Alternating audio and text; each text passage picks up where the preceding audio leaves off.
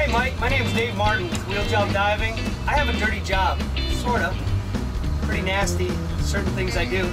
But anyway, this video is for you. If you decide to come down, I'll be waiting for you.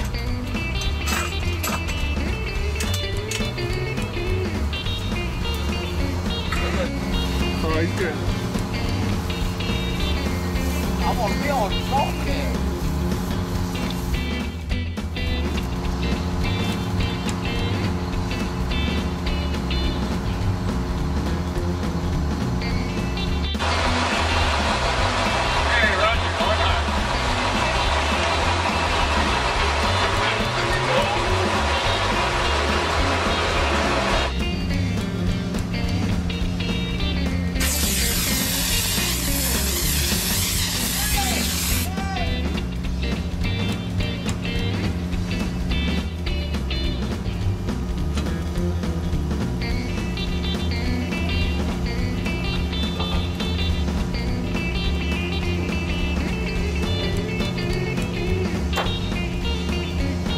What we have here is a railway system. And what this railway does is it they put big boats up on this dolly.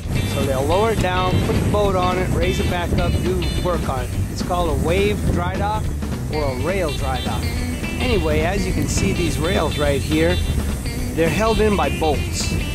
And what I ended up having to do is burn off every one of those bolts on two different sections and then we rigged onto the rail and picked it up, put it on deck, and they went and bought new rails and they painted the bolts and painted plates and locks and everything and install that thing today and try to get it set up